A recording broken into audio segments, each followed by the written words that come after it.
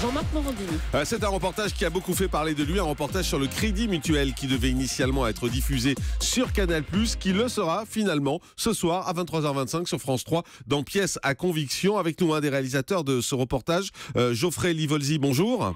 Bonjour. Merci d'être en direct avec nous sur Europe 1. Évasion fiscale, enquête sur le crédit mutuel. Dans un instant, on va revenir un peu sur, sur les démêlés autour de ce reportage. Mais premièrement, qu'est-ce qu'il y a dans ce reportage qui est si explosif?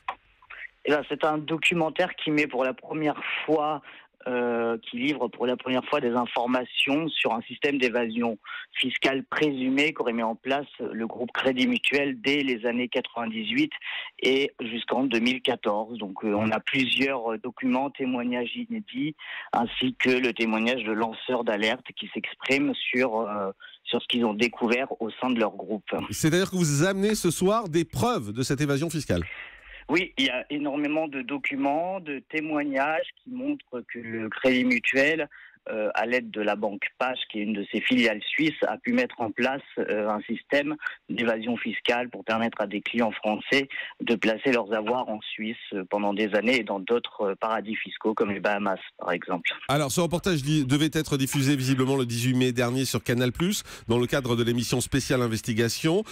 Il n'a pas été diffusé. Est-ce que vous avez eu le fin mot de l'histoire? Est-ce que vous savez pourquoi, clairement, parce qu'il y a eu beaucoup de rumeurs, il n'y a pas eu de confirmation, est-ce que vous savez pourquoi, clairement, il n'a pas été diffusé par Canal. Eh bien, nous avons eu la confirmation hein, hier, elle a été révélée par euh, Mediapart, euh, que euh, la direction du groupe estimait qu'il ne devait plus avoir d'attaque frontale ou polémique à l'encontre de ses partenaires contractuels, euh, étant donné que le Crédit Mutuel est le groupe qui a permis à Vivendi euh, de racheter euh, le groupe Canal+.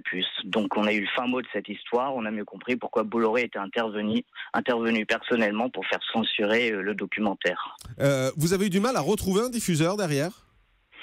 Euh, non, parce que Pièce à conviction s'est très vite euh, dit euh, puis euh, le service public en général, donc France 3, euh, qui a voulu diffuser le film sans souci. Est-ce qu'il y a des modifications qui ont été faites entre la version qui était pour Canal et la version pour France 3 Alors on a eu un temps d'enquête un peu plus long, ce qui nous a permis de rajouter des éléments euh, et d'avoir un peu plus de temps. Euh, il a été rallongé, donc on a pu euh, développer un peu mieux notre enquête. Il n'y a pas de censure en tout cas, il n'y a pas de coupe, c'est ce que je voulais dire. Ah, il n'y a aucune coupe. Très bien, eh bien on verra ça ce soir à partir de 23h25 dans Évasion fiscale, enquête sur le crédit mutuel. Merci beaucoup Geoffrey Livolzi.